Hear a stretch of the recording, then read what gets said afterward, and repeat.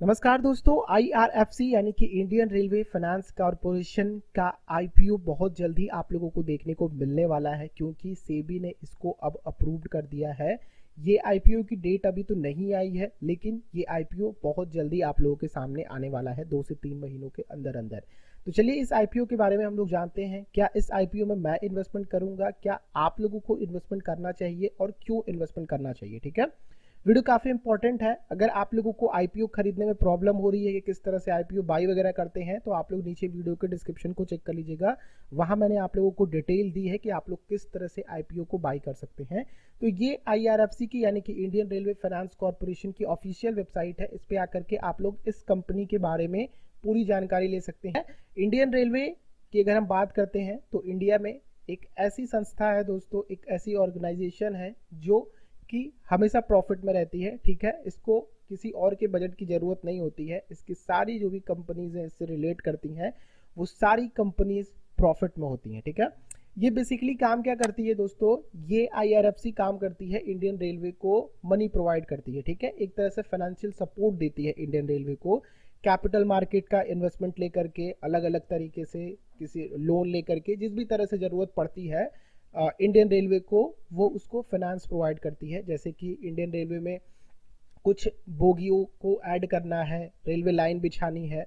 तो ये सारे काम जो आते हैं, ये सब कुछ इंडियन रेलवे फाइनेंस कॉरपोरेशन की तरफ़ से फाइनेंस इकट्ठा होकर के आते हैं। तो वही सारे काम, ये उनके पैसों से होता है। इनकी कुछ रिवेन्यू ग्रोथ है, कुछ कंपनी के यू नो कैपिटल मार्केट में क्या स्थिति है, इनकी क्या वैल्यूएशन है मार्केट में, इसको हम लोग देखते हैं, किस हिसाब से बढ़ी है।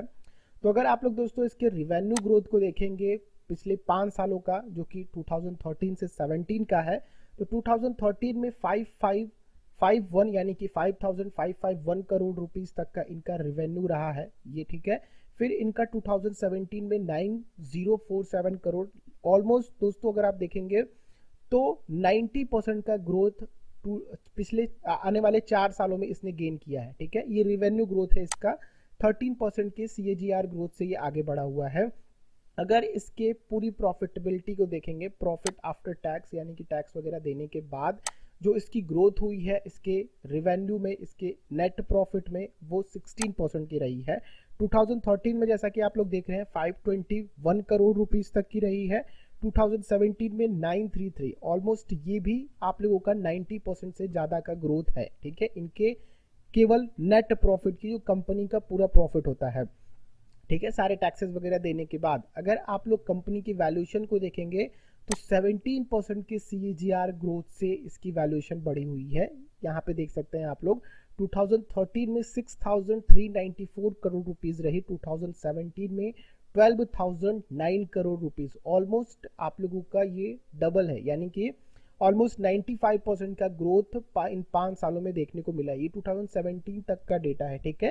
Financial year ended March thirty first तो आप लोगों को कंपनी देखने पे पता चल रहा होगा कि कंपनी की प्रॉफिटेबिलिटी काफ़ी अच्छी है एज लाइक आईआरसीटीसी आईआरसीटीसी क्या करती है? कि वो आप लोगों को फैसिलिटीज़ प्रोवाइड करती है। लाइक like आप लोगों को टिकट और जो भी ट्रेन में फैसिलिटीज़ होती हैं आप लोगों की, क्या खाना है, क्या पीना है, ये सारा कुछ आप लोगों को आईआरसीटीसी प्रोवाइड करती है। आईआरएफसी उसका पिछला बेसमेंट है, यानी कि वो उसको फाइनेंशियल सपोर्ट पहुंचाती है आईआरसीटीसी को, ठीक है? ये दोनों ही अलग अलग कंपनीज़ हैं, लेकिन दोनों ही काफ़ी प्रॉफिटेबल कंपनीज़ हैं।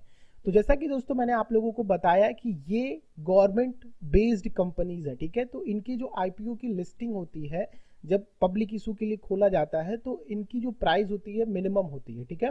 तो ये इन्वेस्टमेंट के लिए काफ़ी अच्छे आई होते हैं और कंपनी भी काफ़ी अच्छी है प्रॉफिटेबल कंपनी है।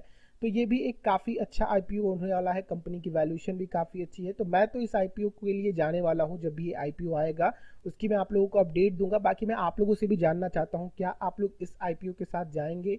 क्या आप लोग IRFC में इन्वेस्टमेंट करेंगे आप लोग? अगर करना चाहते हैं तो ज़रूर आप लोग उस वीडियो को देखिएगा जिसमें मैंने आप लोगों को आईपीओ बाय की गाइड दिखाई है। आप लोग वहाँ से और जानकारी ले सकते हैं, अगर आप लोगों ने इससे पहले आईपीओ में कभी इन्वेस्टमेंट नहीं किया है। बाकी आप लोगों की जो भी राय हो, नीचे कमेंट करके बताइए।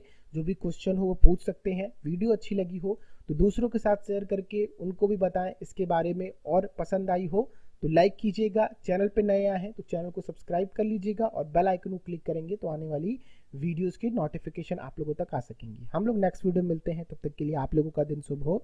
जय हिंद।